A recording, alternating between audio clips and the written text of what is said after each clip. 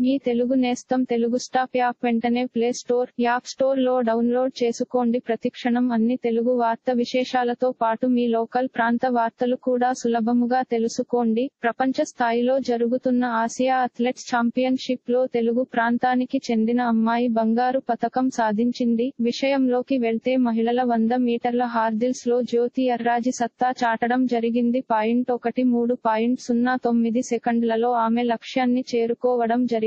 జ్యోతి అర్రాజి స్వస్థలం విశాఖపట్నం పాయింట్ రెండు మూడు సంవత్సరాల వయసు కలిగిన జ్యోతి మొదటిసారి ఆసియా అథ్లెటిక్స్ ఛాంపియన్షిప్లో బరిలోకి దిగి బంగారు పతకం సాధించటం విశేషం. కాగా గతంలో జ్యోతి పన్నెండు పాయింట్ ఎనిమిది రెండు సెకండ్లలో వంద మీటర్ల హార్డిల్స్ పూర్తి చేసి జాతీయ రికార్డ్ నమోదు చేయడం జరిగింది. నిన్ననే ప్రారంభమైన ఈ ఆసియా అథ్లెటిక్స్ ఛాంపియన్షిప్ ట్రోఫీలో పదివేల మీటర్ల నడక పోటీలో అభిషేక్ పాల్ కాంస్య పతకం సాధించాడు. లక్ష్యాన్ని ఇరవై తొమ్మిది నిమిషాల ముప్పై మూడు పాయింట్ రెండు ఆరు సెకండ్లలో పూర్తి చేసి అభిషేక్ మూడో స్థానంలో నిలిచాడు. మహిళల నాలుగు వందలు మీటర్ల రన్నింగ్లో ఐశ్వర్య మిశ్రా ఫైనల్కి అర్హత సాధించింది. ఇక ఇదే సమయంలో పురుషుల నాలుగు వందలు మీటర్ల రన్నింగ్లో రాజేష్ రమేష్ మహమ్మద్ అజ్మల్ కూడా ఫైనల్కి అర్హత సాధించడం జరిగింది. మహిళల జావెలిన్ త్రో ఈవెంట్లో అన్ను అనే యువతి యాభై తొమ్మిది పాయింట్ ఒకటి సున్నా మీటర్ల దూరం విసిరి రికార్డ్ సృష్టించింది. ఈ రకంగా ఆసియా అథ్లెటిక్స్ ఛాంపియన్షిప్లో భారత్ క్రీడాకారులు పతకాలు సాధిస్తున్నారు.